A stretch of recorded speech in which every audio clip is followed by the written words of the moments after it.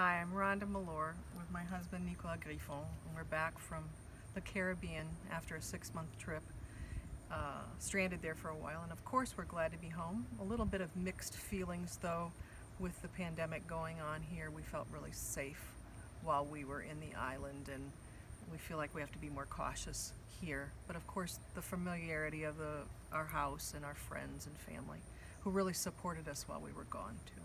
It's important to be home.